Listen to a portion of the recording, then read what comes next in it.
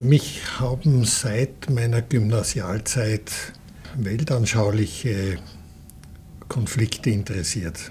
Vielleicht auch vor dem Hintergrund meines Vaters, der zwei Weltkriege mitgemacht hat. Mein Fokus kam immer mehr auf den Streit zwischen Natur- und Geisteswissenschaften, schon auch noch äh, mit, ohne den Blick auf Weltanschauungen, Ideologien zu verlieren habe auch schon immer wieder in der Angst gelebt, mich zu verrennen, weil ich habe ja in meinem Freundeskreis offensichtlich verrannte Freunde gehabt. Und ich hatte Angst, dass mir das auch passiert und habe lange in dieser Angst gelebt. Und äh, ich bin durch Zufall dann auf ethologische Literatur gestoßen, unter anderem Konrad Lorenz, Wolfgang Wickler, Eibel Eibelsfeld, die Bücher habe ich gelesen und da habe ich ungefähr vor 45 bis 50 Jahren zu lesen begonnen, ohne jemals zu ahnen, dass das mein Leben bestimmen wird. Ich wirklich fokussiert habe ich die Ethologie immer mehr erst, wie ich schon ziemlich fortgeschritten im Medizinstudium war. Und ich dachte zuerst, ja, mein Gott, es gibt Ärzte, sie sind Kunsthistoriker und ich bin halt der Arzt, der kennt sich ein bisschen mit der Ethologie aus und dann kam immer mehr der Fokus auf die Psychiatrie. Und ich habe immer mehr bemerkt, dass das eine fruchtbare Überlappungen gibt. Und auf diese fruchtbaren Überlappungen bezieht sich mein Buch. Und mein Buch hat ein Alleinstellungsmerkmal hinsichtlich von sechs stammesgeschichtlichen Rekonstruktionen in Bezug auf die Evolution der Wirbeltiere, bei der ersten Rekonstruktion geht es um Bindung, Liebe, Freundlichkeit und ihre evolutionären Wurzeln in der Brutpflege. Das ist sozusagen der Fokus von mir überhaupt, die evolutionären Wurzeln von allen Verhaltensbereichen. Das heutige Thema hat Bedeutung für jegliche Lebenszufriedenheit, für psychische Stabilität oder Resilienz. Die Grundlage für diese evolutionär fundierte Theorie der Psychologie geht auf Darwin zurück, mit diesem Zitat 1859. Die Psychologie wird sich mit Sicherheit auf den wohlbegründeten Satz stützen, dass jedes Vermögen und jede Fähigkeit des Geistes nur stufenweise erworben werden kann.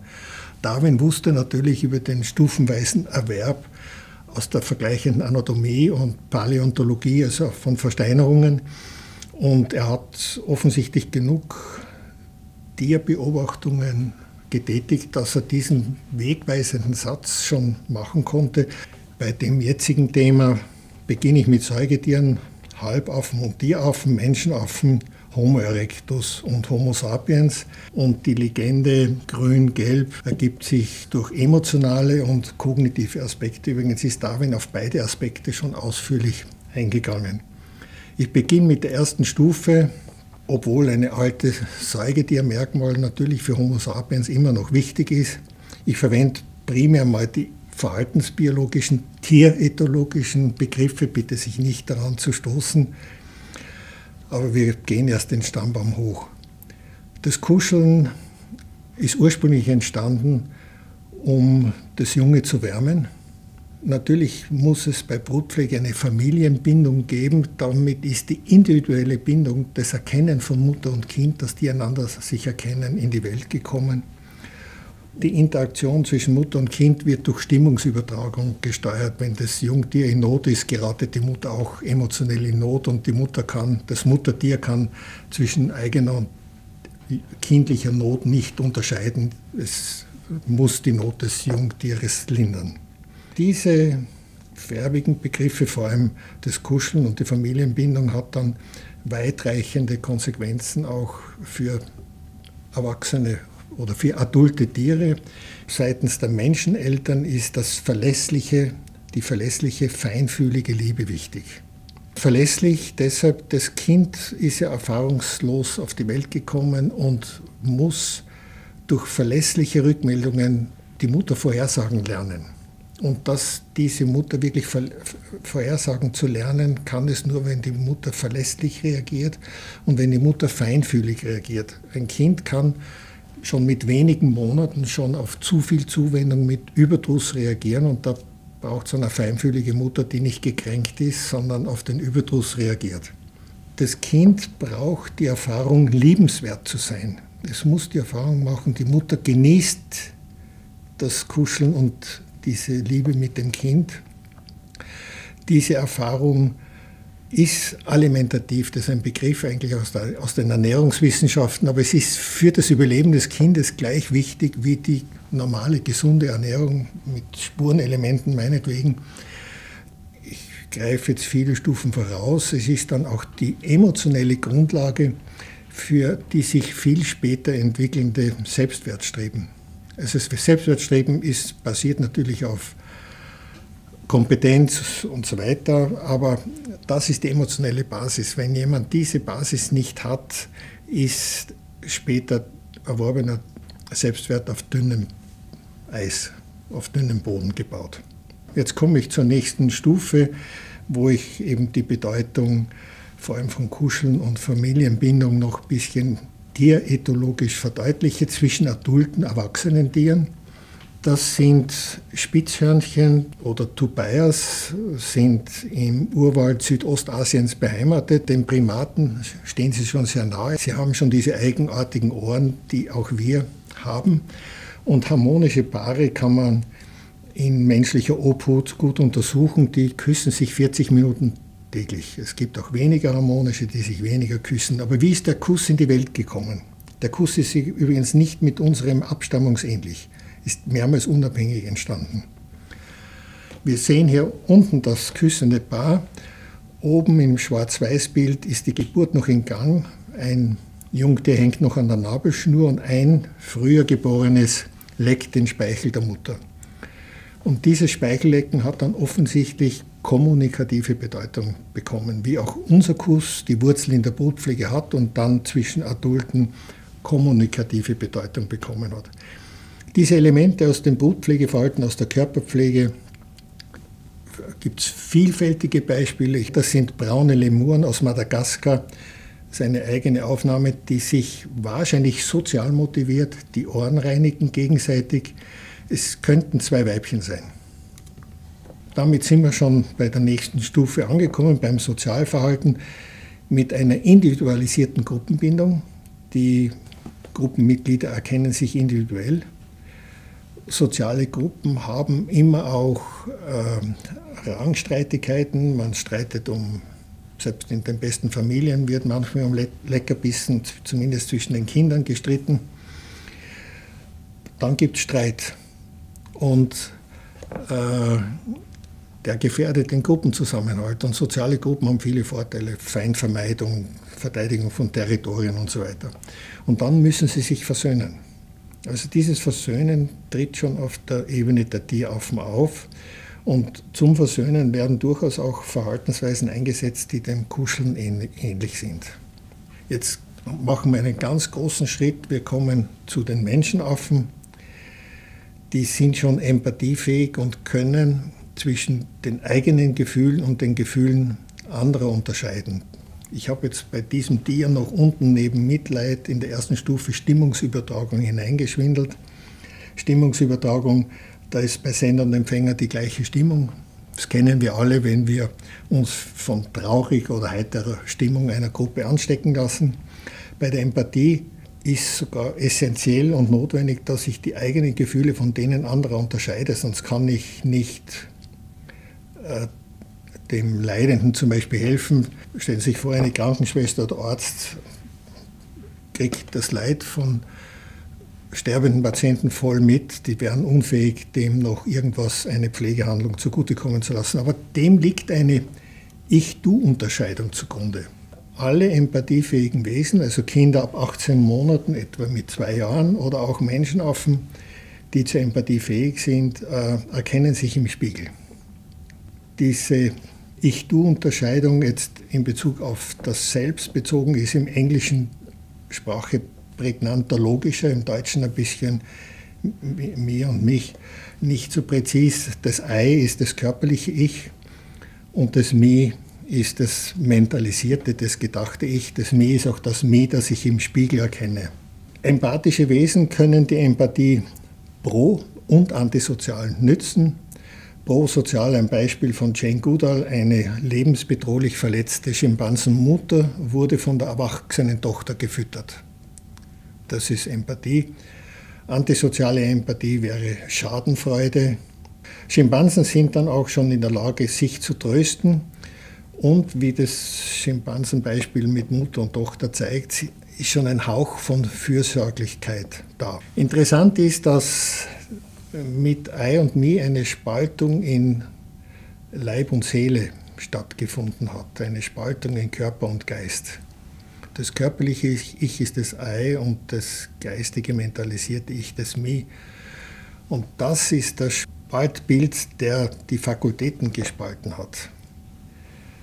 Die Naturwissenschaften sind die Körperwissenschaften und die Geisteswissenschaften sind die Seelenwissenschaften geworden. Oft wird die Spaltung Descartes zugeschrieben. Die Spaltung beginnt aus ethologischer Sicht auf der Stufe der Menschenaffen. Ich komme jetzt zur nächsten Stufe, zu Homo erectus. Hier war die Entwicklungspsychologie hilfreich, nämlich der Wechsel, der beim vierjährigen Kind eintritt, Schritte von Homo erectus zu rekonstruieren. Und zwar ein wichtiger Punkt war die Evolution der Emphronesis, auf Englisch Theory of Mind. Die wissen bereits, vierjährige Kinder oder höchstwahrscheinlich auch Homo erectus, was andere wissen können und was sie nicht wissen können. Sobald ich weiß, was andere von mir wissen, habe ich entweder einen Mitteilungsdruck und zeige auf etwas hin oder zeige auf, durchblicke etwas an oder entwickle eine Wortsprache. Wir sind die einzigen Primaten, die den Zeigefinger strecken können. Wir haben einen eigenen Muskel, um den zu strecken. Und wir sind die einzigen Primaten, die durchgängig weiße Bindehaut haben, um die Blickrichtung besser anzeigen zu können. Wenn ich weiß, was andere wissen, dann werde ich wahrscheinlich auch Anerkennungsstreben entwickeln, das dann eine Folge von äh, weiteren Entwicklungen in Richtung Hominisation, Menschenwerdung ermöglicht hat. Auf jeden Fall Folge des Anerkennungsstrebens ist auch, wenn ich gepatzt habe, dass ich Scham entwickle und Folge von Emphronesis ist auch, wenn ich gepatzt habe, dass ich mich entschuldige, um sozusagen nicht restlos die Anerkennung zu verlieren. Und auch Folge ist dann das Verzeihen und auch das Sorgen sind alles Leistungen, die wir äh, dieser Emphronesis verdanken. Homo erectus dürfte wahrscheinlich schon Feuer verwendet haben. Mit Homo erectus beginnt aufgrund der Feuerverwendung die Rückbildung des Gebisses und des immer kleiner werdenden Verdauungstraktes, weil wir dann nicht mehr so lang kauen müssen. Man hat archäologisch äh, auch wahrscheinlich Feuerstellen hypothetisch von Homo erectus gefunden. Wieder für die, die sich weiter einlesen wollen in die Definition des Begriffes, da gibt es den False Beliefs Test und ich habe schon erwähnt, Scham ist die Hüterin der Würde. Der letzte Schritt ist möglicherweise kein großer qualitativer Schritt mehr zu Homo erectus. Also Homo ist bei Homo erectus sicher zu Recht schon zugeordnet. Äh, möglicherweise sind jetzt äh, die oben erwähnten Begriffe einfach quantitative Weiterentwicklungen äh, der Emphronesis. Äh, die Reflexion und auch Meta-Reflexion, wenn ich über Reflexion reflektiere, ist eigentlich eine Erweiterung der Emphronesis. Die Sprache eine logische Folge, wenn ich weiß, was andere wissen und nicht wissen, äh, dass ich dann äh, sprachlich auch versuche, darauf hinzuweisen. Wenn ich in zwei Bezugssystemen denken kann, meinem eigenen und den anderen, dann ist es ein kleiner Schritt auch zwischen individuellem Wohl und Gemeinwohl zu unterscheiden. Und wahrscheinlich gibt es wahrscheinlich in allen Kulturen Überlegungen im Sinne der goldenen Regel. Niemandem was zuleide zu tun, was man selbst nicht will, dass einem zuleide getan wird. Höchstwahrscheinlich gibt es dazu Schriftdokumente in allen Schriftkulturen. Wichtig jetzt, um jetzt noch einmal die Stufen Revue passieren zu lassen, ist mir dass diese rot hervorgehobenen kursiven Begriffe, diese Bereitschaften müssen in der Kindheit als Empfänger und Sender jahrelang geübt werden. Es geht um die Feinabstimmung. Das ist so wichtig, dass die Kinder Liebe empfinden, geliebt zu werden, dass sie auch üben, versöhnen, trösten, entschuldigen, verzeihen und natürlich auch dann, wenn sie das entsprechende Alter haben, äh, auch dann äh, goldene Regeln quasi sinngemäß äh, reflektieren. Kinder, die dieses alimentative, also überlebensnotwendige Erfahrungen nicht sammeln konnten, sind massiv benachteiligt und können teilweise auch zu Recht als Bindungstraumen bezeichnet werden. Wenn man Häftlinge von demokratischen, pluralistischen Staaten anschaut, bei Diktaturen ist es nicht so eindeutig, dann hatten nur 5% der Häftlinge einer Strafanstalt als Kleinkind eine feste und dauerhafte Bezugsperson. 50% hatten bis zum 14. Lebensjahr durch mehrfache traumatisierende Verluste mehr als fünf Bezugspersonen. Spannend, ich weiß keine Antwort darauf, will es aber einfach so im Raum stehen lassen. Es gibt ja Mädchen und Buben, die eine katastrophale Kindheit haben. Aber warum sind 90 Prozent der Häftlinge männlich? Ich will das weiter jetzt nicht mehr ausführen, aber noch ein Beispiel bringen. Der amerikanische Jugendpsychiater Perry hat das berühmte Buch geschrieben, Das Kind, das wie ein Hund behandelt wurde. Und in dem Buch beschreibt er einen Buben, den er begutachtet hat. Der hat 14-jährig in alkoholisiertem Zustand zwei zwölfjährige Mädchen angebackert. Die Mädchen haben abgelehnt, daraufhin hat er beide ermordet. Und beim Prozess sitzt halt sein begutachtender Psychiater neben ihm und er stellt fest, dass die Angehörigen der Mädchen, die zuhören, weinen. Und er fragt den Psychiater, wieso weinen die? Ich bin doch der, der ins Gefängnis kommt. Der hat nie, der, nie im Leben eine verlässliche, liebevolle Zuwendung erfahren. Deshalb war ihm diese Bindung völlig fremd. Mit dem nächsten Tier möchte ich noch einmal Revue passieren lassen, nur ein bisschen ein anderer Blick auf den Zusammenhang zwischen Brutpflege und soziale Funktionen der Brutpflegeelemente, wie wir als Erwachsene diese Elemente nützen. Die Bindung zwischen Mutter und Jungtier ist auch bei uns zu unserer Bindungsfähigkeit geworden, Beispiel Paarbindung äh, oder Gruppenbindung, Wärmen und Füttern des Jungen, Kuscheln und Kussfüttern wird von uns eingesetzt beim Versöhnen, Werbe- und Sexualverhalten. Vermittlung von Sicherheit Entspannung und Beruhigung. Diese Vermittlung erlebt natürlich auch ein Jungtier und das wird bei uns genützt zum Versöhnen. Leistungen, die erst bei Menschenaffen auftreten, habe ich kursiv gesetzt. Sorgen, Trösten dürfte erst bei Menschenaffen vorkommen und ab Homo erectus auch wirklich eine fürsorgliche Haltung. Futterbetteln, in freier Wildbahn gibt es Futterbetteln nur bei Menschenaffen im Zoo auch von anderen Affen.